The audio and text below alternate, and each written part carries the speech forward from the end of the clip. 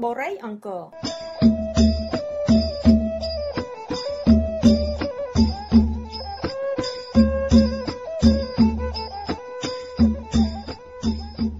ទីនេះវិទ្យុសំឡេងសហគមន៍បូរីអង្គរ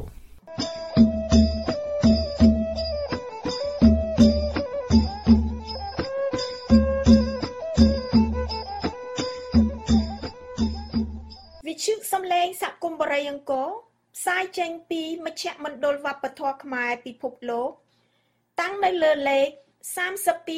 3271 South Chicken Road ក្រុង Roland រដ្ឋ North Carolina សហរដ្ឋអាមេរិក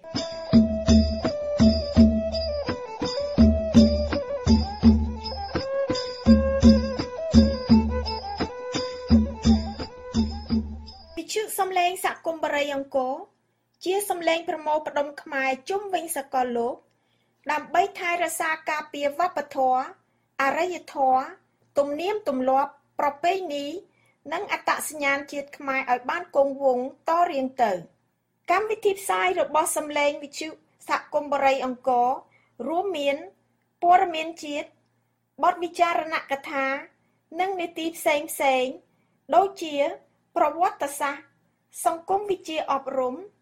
សាសនាវប្បធម៌និងនីតិវេទិកាសេរីលក្ខនិងលក្ខ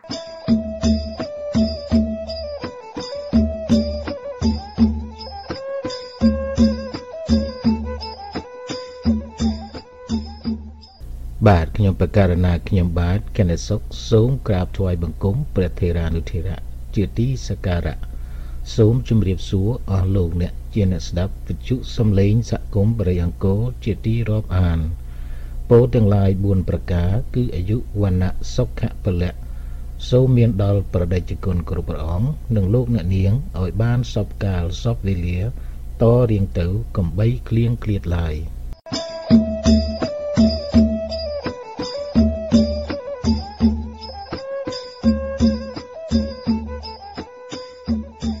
បាទលំដាប់តទៅនេះខ្ញុំបាទសូមជូនកម្មវិធីផ្សាយសម្រាប់ថ្ងៃ2រោចខែបោះឆ្នាំវកអត្តស័កពុទ្ធសករាជ2560ត្រូវនៅថ្ងៃសៅរ៍ទី14ខែមករាគ្រិស្តសករាជ2017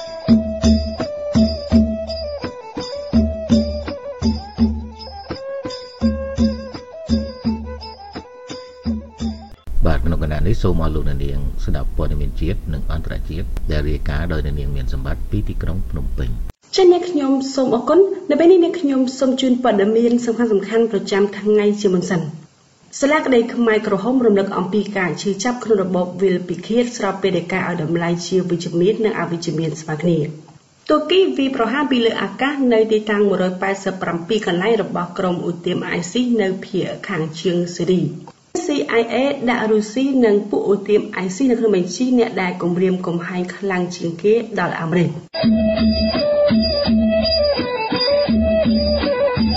ចា៎នេះខ្ញុំសូមជូនព័ត៌មានពិស្ដាសាលាក្តីខ្មែរក្រហមរំលឹកអំពីការឈឺចាប់ក្នុងរបបវិលពិឃាតស្របពេលដែលការឲ្យតម្លៃជាវិជ្ជមាននិងអវិជ្ជមានស្មើគ្នា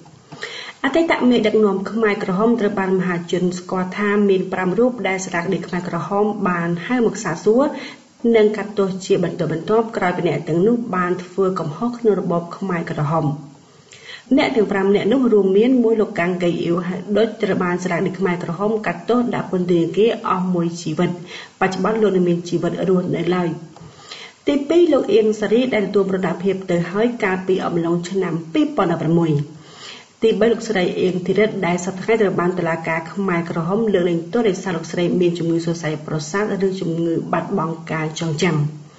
ទី4លោកខៀវសំផននិងទី5លោកនួនជាបច្ចុប្បន្ននេះនួនជានិងខៀវសំផនកំពុងស្ថិតនៅក្នុងដំណាក់កាលដំណើរការក្តីនៅឡើយប៉ុន្តែសុខភាពអ្នកទាំងពីរចាស់ទ្រុឌទ្រោមណាស់ទៅហើយ។ អង្គជំនុំជម្រះនៃសាលាក្តីខ្មែរក្រហមហៅកាត់ថា ACCC កាលពីថ្ងៃទី11ខែមករាឆ្នាំ2017បានបិទបញ្ចប់នៅសវនកម្មលើភ័ស្តុតាងក្នុងសំណុំរឿង002/02ពាក់ព័ន្ធទៅនឹងបទចាត់ប្រកាន់ស្តីពីកតកម្មប្រឆាំងមនុស្សជាតិអំពើបលាយពូជសាសន៍និងការបំពេញបំពេញយ៉ាងធ្ងន់ធ្ងរលើរដ្ឋសញ្ញាទីក្រុងហ្សឺណែវប្រឆាំងនឹងជនជាប់ចោតនួនជានិងឃីវសំផន អ្នកនាំពាក្យស្លាកនេះខ្មែរក្រហមលោកណេតភក្ត្រាបានលើកឡើងថាអង្គចំនួនជំនះបានធ្វើសវនកម្មអស់រយៈពេល274ថ្ងៃនៅក្នុងសំណុំរឿង002/02និងស្ដាប់សក្ខីកម្មសាក់សិចំនួន114នាក់ក្នុងដើមបណ្ដារដ្ឋបវេនីចំនួន63នាក់និងអ្នកជំនាញ8នាក់ លោកសុនជ័យនៃវិភាគសង្គមនិងជាប្រធានអង្គការកែននៃភាពសង្គមបានថ្លែងថាបើមើលជារួមស្លាកនេះខ្មែរក្រហមត្រូវបានមហាជនដឹងថានឹងមិនមានការចោទប្រកាន់លើទីទេដោយករណីនេះគឺរដ្ឋាភិបាលឈលលើគោលការណ៍ផ្សាផ្សាជាតិចំពោះស្លាកដៃខ្មែរក្រហមយើងមើលជារួមទៅយើងអត់រំពឹងថានឹងមានការចោទប្រកាន់ទៅលើសំណុំរឿងដតីទៀតបន្តទៀតទេព្រោះអី នៅក្នុងស្ថានភាពមួយដែលគេហៅថាអឺជាអ្វីដែលមើលមិនឃើញអំពីសញ្ញានៃការស្វែងរកឬក៏ការបន្តទៅលើសំណុំរឿងដតីទៀតក្រៅតែពីរឿងនួនជាគឺសំផនកាំងកិយោហៅដេចហ្នឹងបាទពួកអីគេហៅថាអឺក្រៅពីអតីតមេដឹកនាំខ្មែរក្រហម ចាស់ចាស់ទាំងអស់ហ្នឹងមានមេដឹកនាំផ្នែកក្រហមដទៃទៀតដែរដែលឃើញថាមានការពាក់ព័ន្ធជាពិសេសមនុស្សដែលមានការពាក់ព័ន្ធទៅនឹងទូនាទីរបស់ពួកគេនៅក្នុងរបបកម្ពុជាប្រជាធិបតេយ្យហ្នឹងបាទអញ្ចឹងដោយឈលលើមូលហេតុឬក៏មូលដ្ឋាននៃការបង្រួបបង្រួមនឹងសាសនាជាតិហ្នឹងការបន្ត បំរើផ្សេងៗទៀតខ្ញុំថាទៅទៅមិនរួចទេលោកជាមុនីជាប្អូនប្រុសបង្កើតរបស់លោកជាវិជាដែលបច្ចុប្បន្នជាប្រធានសហជីពសេរីកម្មករនៃប្រទេសកម្ពុជាបានលើកឡើងថាសម្រាប់ខ្ញុំខ្ញុំអត់មានចំណាប់អារម្មណ៍អីទេខ្ញុំគិតដូចអឺព្រះមហាវរៈក្សត្រចឹងព្រះបរមកោដ្ឋណាព្រះបរមកោដ្ឋបានលើកឡើងអញ្ចឹងថាសាលាក្តីខ្មែរក្រហមនឹងចំណាយតែលុយអត់ប្រយោជន៍ទេទុកលុយមក អភិវឌ្ឍសង្គមជាការល្អហើយសម្រាប់ខ្ញុំខ្ញុំមើលលើឃើញអញ្ចឹងមែនថាតើបើយើងកាត់ក្តីទៅណាប្រជាពលរដ្ឋដែលជឿចាប់នៅក្នុងរបបខ្មែរក្រហមនឹងទទួលបានអីហើយពួកគាត់ពួកគាត់ដែលបច្ចុប្បន្ននេះមិនបាច់កាត់ក្តីគាត់ក៏គាត់អត់រស់បាន10ឆ្នាំទៅមុខទៀតដែរណាពីព្រោះគាត់មានវ័យចំណាស់ហើយហើយយើងសម្លឹងមើលតទៀតថា បើសិនជាសាលាក្តីខ្មែរក្រហមនឹងបានអនុវត្តត្រឹមត្រូវកុំមានការលូកដៃពីរដ្ឋាភិបាលខ្មែរឲ្យវារលូនដែលជាសាលាក្តីកូនកាត់មួយប្រកបដោយនិសេរៈគួរណាស់តែខ្មែរយើងកុំលូកដៃហើយបើសិនជាខ្មែរយើងលូកដៃយើងគួរណាស់តែពិចារណាថាសូមខ្មែរចំនួនក្រោយហ្នឹងកុំឲ្យស្ទៀលកោងកាចចាប់ចាក់ធ្វើឲ្យវាមានប្រតិសារីដល់ក្មេងចំនួនក្រោយ អញ្ចឹងនៅពេលដែលសាលាក្តីខ្មែរក្រហមនឹងគាត់បញ្ចប់ទៅមែនពិតប៉ុន្តែសាលាក្តីខ្មែរក្រហមហ្នឹងបើអត់ទាន់ដកចេញពីកម្ពុជាទេនឹងកាត់ខ្មែរចំនួនក្រោយនឹងទៀតដែលមានដែលគេគិតថាគឺជាខ្មែរដែលអឺអឺគេហៅថាក្បត់ជាតិទៀតណាក្បត់ជាតិនឹងបល័យវិសាជាខ្មែរក្បត់ជាតិទៀតអញ្ចឹងណាបាទខ្ញុំគាត់ខ្ញុំគាត់ថាខ្ញុំមិនកាត់អារម្មណ៍នឹងសាលាក្តីខ្មែរក្រហម នឹងទេណានឹងខែមកវិញអ្នកតាមដាននិងឈឺឆ្អាលអំពីបញ្ហាសង្គមលោកវុនពើដែលសប្តាហ៍គឺជាប្រធានសមាគមសេដ្ឋកិច្ចក្រៅប្រព័ន្ធហាក់មិនចាប់អារម្មណ៍រឿងដំណើរការកាត់ដេររបស់ស្រាដីខ្មែរក្រហមនេះទេលោកចាត់ទុកថាមិនចាប់អារម្មណ៍ព្រោះម្ដងកាត់ទៅមុខព្រោះម្ដងកាត់ទៅក្រោយគិតថាខ្ញុំទៅខ្ញុំតាមដានតែចាប់អារម្មណ៍រឿងតាក់តាក់ទៅរឿងអ្វីដែលការកាត់ក្តីចំពោះអ្នកដឹកនាំខ្មែរក្រហមដែលដាក់ទូទាត់គឺខ្ញុំអឺ ចង់និយាយថាគឺជាចំណុចមួយដែលល្អដែលកាត់ទោសអ្នកដែលធ្វើខុសទាំងអស់ហ្នឹងប៉ុន្តែរឿងបិទសំណុំរឿងអីហ្នឹងគឺខ្ញុំអត់មានការចាប់អារម្មណ៍ចំណុចហ្នឹងទេដោយសារការតាមដានយូរហើយណា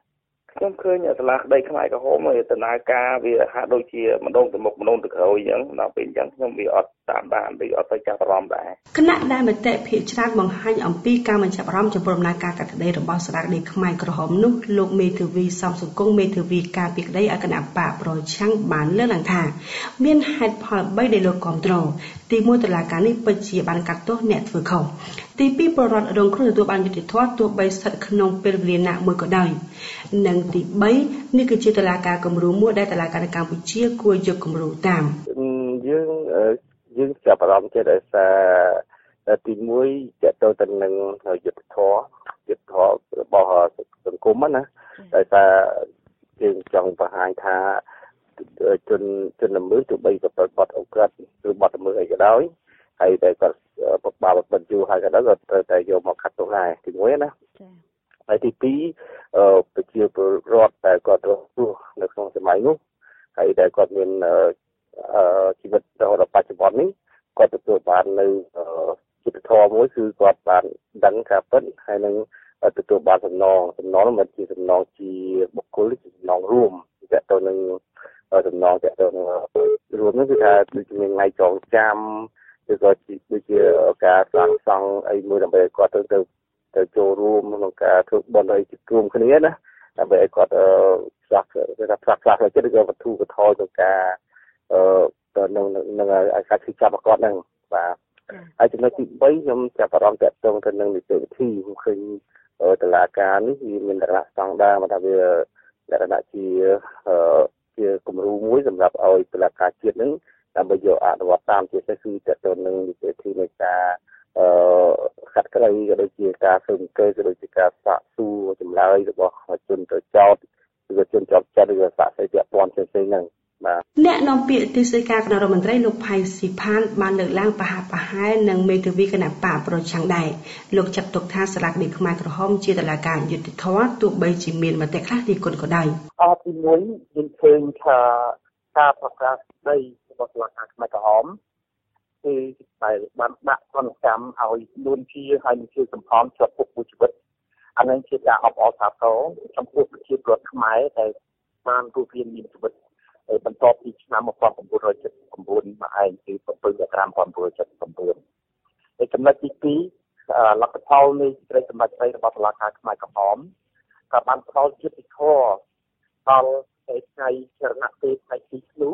1978តែពេលក្រោយយុត្តិធម៌តើជាថ្មីម្ដងទៀតនៅឆ្នាំតែជោគជ័យជំនះនៃ7មករាដែលបង្ហាញថាជាជោគជ័យរបស់ការរស់ឡើងនេះតែជាថ្មីម្ដងទៀតនៃប្រជាប្រដ្ឋខ្មែរបន្ទាប់ពីជាជំនះដែលរំដោះបានជីវិតទូទាំងប្រទេសមកវិញឯងដូច្នេះលទ្ធផលនេះក៏ជាលទ្ធផលមួយដ៏យុត្តិធម៌បំផុតសម្រាប់ប្រជាពលរដ្ឋខ្មែរ ហើយរស់រានមានជីវិតចាប់តាំងពីខែ7មករា1929តែព្រោះទៅតែពីចំនួននោះគឺសហរដ្ឋអាមេរិកទៅជាប្រទេសដទៃទៀតនៅតែស្កោតទោសនៃការរស់រានមានជីវិតរបស់កម្ពុជាទោះបីជាមានការរៀបចំនៃការគិតជនដែលឈ្មោះលៀនពិធីដែលសម្ដែងដោយអ្នកស្របរងភូមិនៅសម័យពលពតហ្នឹងគឺលោកដុកទ័រអញ្ញោបានប្រាប់ពិភពលោកនៅឆ្នាំ1949ពីការកាប់សម្លាប់ រំភាលរបស់បងពលពតនេះឯងយើងឃើញថាការដាក់ពន្ធកម្មហើយដល់តែអ្នករស់រានមានជីវិតចាប់តាំងពីឆ្នាំ1979 7មករារហូតមកដល់ឆ្នាំ1990តែពេលនេះគឺបង្ហាញជាក់ស្ដែងថាជាថ្មីនៃយុទ្ធធរនៃការរស់រានមានជីវិតរបស់ប្រជាពលរដ្ឋហើយចាប់ដល់យុទ្ធធរទៅជោគជ័យថ្ងៃ7មករាឆ្នាំ1979វា79នេះផងដែរបាទ ជាជំនាញចាប់អារម្មណ៍ព័ត៌មានអន្តរជាតិវិញទូគីវាប្រហារពីលើអាកាសនៅទីតាំង187កន្លែងរបស់ក្រុមឧទាម ISIS នៅភាគខាងជើងស៊េរីអគ្គសេនាធិការកងទ័ពទូគីបាននិយាយថាក្រុមឧទាមរដ្ឋអ៊ីស្លាម ISIS ប្រមាណជា41នាក់បានសម្លាប់ខណៈដែលទីតាំងរបស់ក្រុមឧទាម187កន្លែងនៅទីប្រជុំជនអាល់បាប់ភាគខាងជើងប្រទេសស៊េរីត្រូវបានកម្លាំងទូគីវាប្រហារអស់រយៈពេល24ម៉ោងចុងក្រោយនេះ។ ទីភ្នាក់ងារសារព័ត៌មានចិនស៊ីនហួរបានដឹងថាយោងតាមកម្លាំងទូគីគឺទីតាំងចំនួន177ទីតាំងដែលជាកម្មសិទ្ធិរបស់ពួកភេរវករត្រូវបានបំផ្លាញទាំងស្រុងដោយសភាវុធទូគី យោធាទូគីបានដឹងថាការវាយប្រហារតាមដែនអាកាសចំនួន10ដងនៅក្នុងតំបន់កាន់កាប់ដោយពួកស៊េរីបានបំផ្លាញជំរករបស់ពួកគេអស់4ទីតាំងនិងទីតាំងកណ្ដាលរបស់ពួកគេអស់4ទីតាំងទៀតរយុទ្ធមកពាក់សភាវុធអស់ប្រមាណជា2គ្រឿងថែមទៀត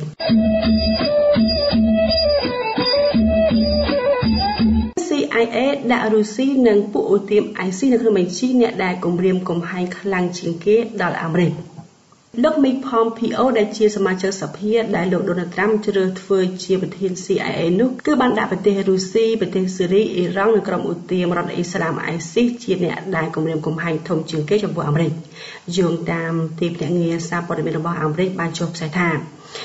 ការពណ៌នាថាអ៊ីរ៉ង់ជាឧបត្ថម្ភដែលឈានមុខគេចំពោះពួកភេរវករនោះគឺលោក Mark បានចោទថារដ្ឋាភិបាលទីក្រុងតេហេរ៉ង់បានក្លាយជាអ្នកលើកទឹកចិត្តនិងជាអ្នកលេងដ៏សំខាន់ដល់តំបន់មជ្ឈមបូព៌ា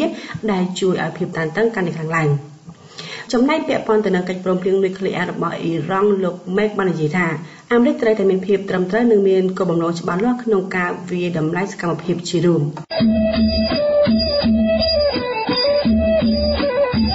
ប៉ាគីស្ថានច្រានចោលការចោទថាផ្ដាល់ជំរកដល់ពួកភេរវករប្រទេសប៉ាគីស្ថានបានប្រកាសច្រានចោលការចាប់ប្រកាន់របស់អាមេរិកដែលថាពួកភេរវករនៅជ្រកកោនក្នុងតំបន់កលសម្ព័ន្ធមួយចំនួនក្នុងប្រទេសនេះប៉ាគីស្ថានថែមទាំងអះអាងទៀតថាខ្លួនមិនអនុញ្ញាតឲ្យប្រើប្រាស់បរណភាពទឹកដីរបស់ខ្លួនសម្រាប់ធ្វើការវាយប្រហារប្រឆាំងទៅនឹងប្រទេសផ្សេងទៀតឡើយសារព័ត៌មានចិនស៊ីនហួរបានចុះផ្សាយថា ការច្រានចោលនេះបានកើតឡើងបន្ទាប់ពីអ្នកនាំពាក្យក្រសួងការបរទេសអាមេរិកលោក Mark Toner នៅសប្តាហ៍នេះបានចោទថាឋានសួគ៌សុវត្ថិភាពរបស់ពួកភេរវករគឺនៅក្នុងប្រទេសប៉ាគីស្ថានលោក Mark Toner បានអះអាងទៀតថាជំរកទាំងនោះគឺបានអនុញ្ញាតឲ្យក្រុមភេរវករអនុវត្តការវាយប្រហារនៅក្នុងប្រទេសអាហ្គានីស្ថាន ចាសសម្រាប់ព័ត៌មានជាតិព័ត៌មានអន្តរជាតិពេលនេះបានឈានចូលមកដល់ទីបញ្ចប់ហើយនាងខ្ញុំមានសម្បត្តិសូមអរគុណសូមគោរពលា